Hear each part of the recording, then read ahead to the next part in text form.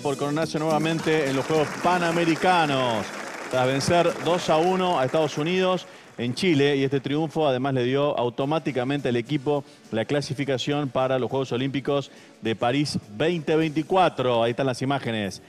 Para colgarse de la octava medalla de oro de la historia en esta competencia, las chicas debieron sufrir al final ante las estadounidenses, únicas que le supieron arrebatar la cima del torneo y que se quedaron con el primer puesto en Guadalajara 2011 y en Toronto 2015. Argentina se impuso eh, en el 87 al, del 87 al 2007 y defendía el título logrado en Lima 2019. Las Leonas ganaban 1 a 0 con el gol de Agustina Gorcelani tras un córner corto.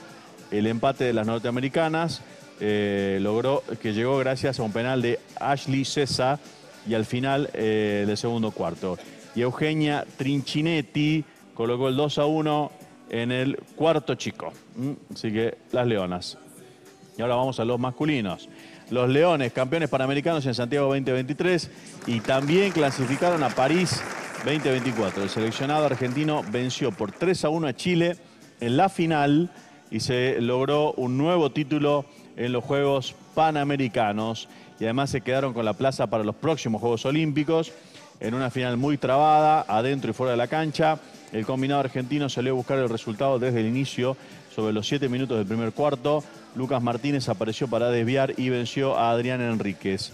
Cuando parecía que los dirigidos por Mariano Ronconi iban a ampliar la ventaja, la Roja apareció para ponerle suspenso al resultado y Axel Richard supo aprovechar el córner corto y puso 1 a 1 el parcial y terminó ganando 3 a 1 Argentina en la nueva edición de los Panamericanos 2023.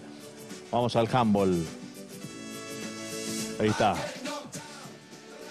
El handball masculino que venció a Brasil.